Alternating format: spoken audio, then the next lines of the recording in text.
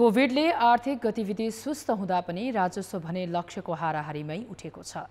एघार महिनामा लक्ष्यको त्रियासी प्रतिशत राजस्व सङ्कलन भएको छ। सरकारी अधिकारीले कर बुझाउने म्याद थपेको र सङ्क्रमण दर पनि घट्दै गएकाले लक्ष्य पुरा हुने दावी गरेका छन्। तर महामारीले प्रभावित करदातालाई सरकारले छुट राहत भने दिएको छैन। आन्तरिक राजस्व विभागले चालु आर्थिक वर्ष चार खर्ब पचास अर्ब चौतिस करोड रुपियाँ कर सङ्कलनको लक्ष्य लिएको थियो।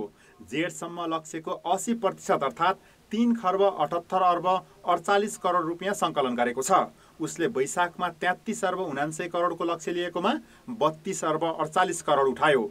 वैशाख दोस्रो सातादेखि काठमाडौँ लगायत देशका अधिकांश जिल्लामा निषेधाज्ञा जारी गरेकाले राजस्व असुली प्रभावित भयो।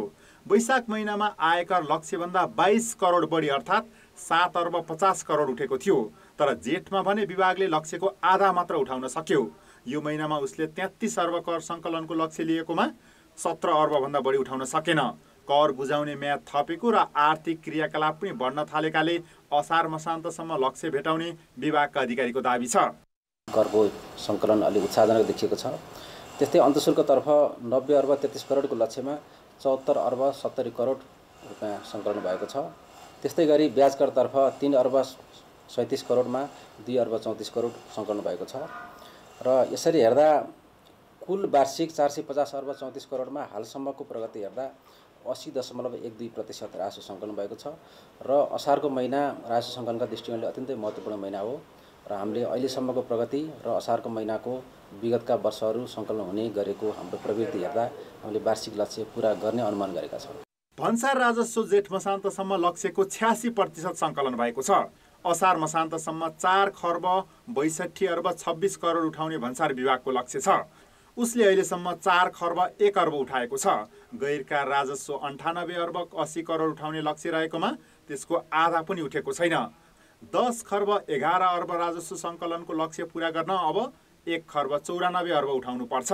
कोभिडको दोस्रो लहर चैत अन्तिम साता सुरु भए पनि आर्थिक क्रियाकलाप भने वर्षभरि नै प्रभावित भए। त्यसका बावजुद तिरासी प्रतिशत राजस्व उठ्नु सकारात्मक हो। महामारीले पिल्सिएका बेला समेत करदाताले खुरु खुरु कर तिरे पनि उनीहरूलाई सरकारले भने कुनै राहत दिएको छैन।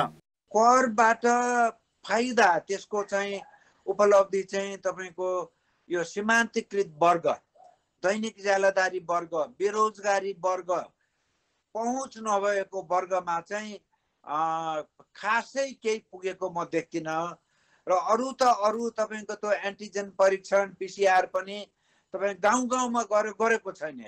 सरकारको काम कर उठाउने मात्र होइन। करदातालाई सुविधा दिने पनि हो।